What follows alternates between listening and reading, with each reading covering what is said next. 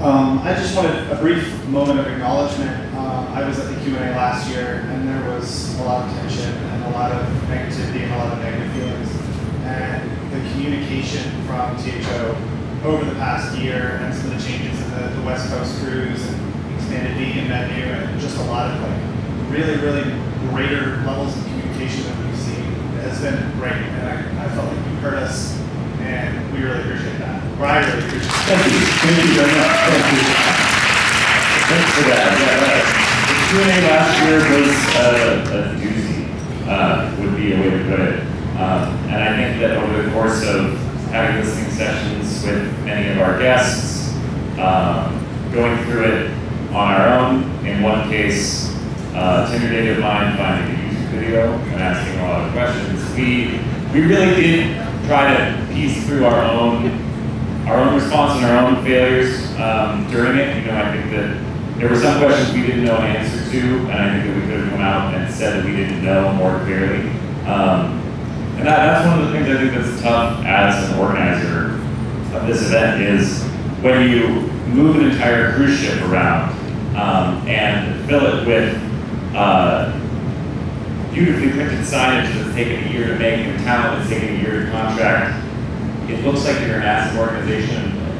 We, there are some things that it does take us a long time to really figure out, and it took us it took us a while to fully debrief with each other and um, time after the Q&A to, to speak with and hear from the community, and that's something that we've rededicated ourselves to um, after that experience. So we really appreciate you sticking with us, um, and you know, the, the, the, other thing I'll say that all the concerns that were raised at the Q&A, I think they, it was hard to hear.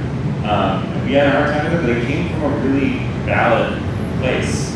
And we condemn the situation with DeSantis and those policies.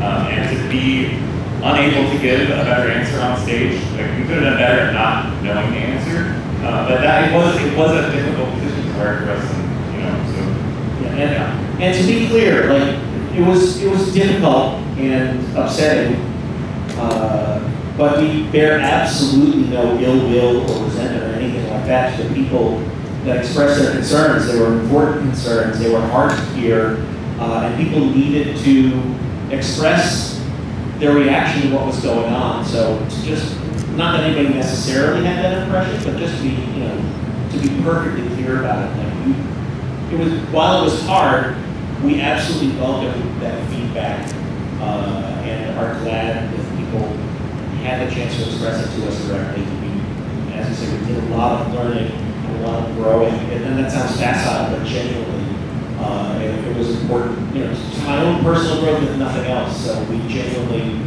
thank everyone for that.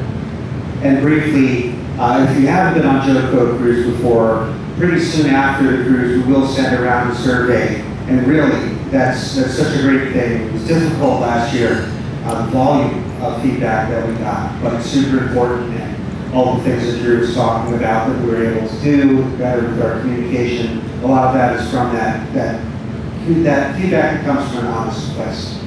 Yeah, I should, there are many things that we've done that I have forgotten to call out. For example, Tara's done a lot of work on engaging more directly with the community, not just throughout the year, but on board. So, uh, good job, Tara. Tara, Tara's been getting value for us as well. A particular shout out to Tara who came up with our PROW program this year, and we've been getting a lot of great feedback on all of it. So thank you.